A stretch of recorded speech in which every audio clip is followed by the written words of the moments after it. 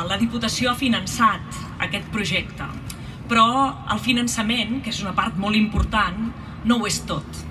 No tindríem un gran projecte si no hi hagués hagut la complicitat de les entitats de veïns, si no hi hagués hagut la complicitat dels comerciants, si no hi hagués hagut la complicitat de l'Ajuntament, l'esforç de la regidoria per estar al peu del canó fent que eh, cada molèstia de les obres fos superada dia a dia, no hauríem tingut aquest resultat si no hi hagués hagut una bona planificació urbanística per pensar que l'espai que es guanya ha de ser un espai per als veïns i veïnes. Per això, permeteu-me que eh, recordi també el que va ser president de la Diputació, en Salvador Esteve, amb el que veu firmar aquesta important inversió i la que doncs, hem volgut continuar al llarg doncs, del, del meu mandat.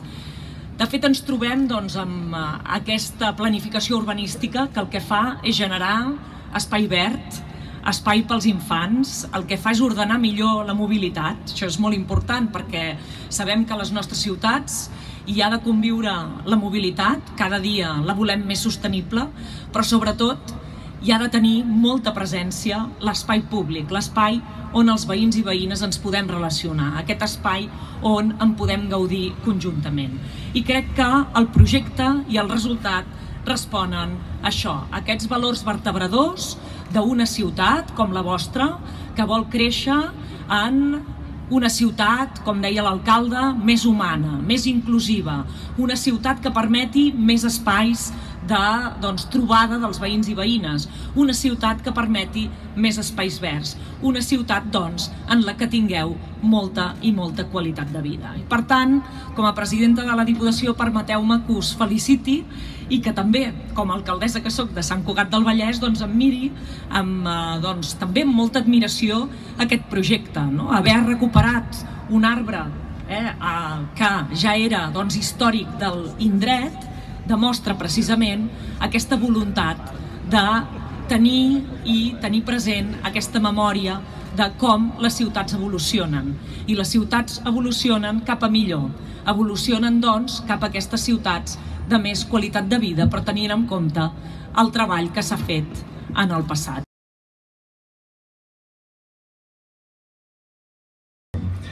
Estem contents i satisfets perquè eh, hem arribat fins aquí. Sabeu que costa molt arribar a aconseguir les fites i abans ho recordava el regidor d'Urbanisme i Llicències, el Marc Eloi, quan deia que és un projecte que ja des de l'any 33 estava dibuixat. Per tant, avui és un dia d'agraïments i de reconeixements. El primer agraïment la Diputació, ha estat clau la seva aportació. Els, el milió 580.000 euros, la gent diu, no parleu sempre de diners, que ens canseu amb això dels diners. Però mira, les coses costen diners i a vegades s'ha de dir qui els hi posa. Els hi ha posat la Diputació i són 1.580.000, més enllà de la col·laboració que l'Ajuntament i Aigües hem fet perquè es tirés endavant. Però el gruix, el gruix important de l'obra, és de la Diputació. I deixeu-me que faci un agraïment al president amb el que vam signar a l'inici d'aquest procés, que és el president Esteve, que eh, en el seu moment, el juny del 2015, el Salvador Esteve va signar l'acord inicial.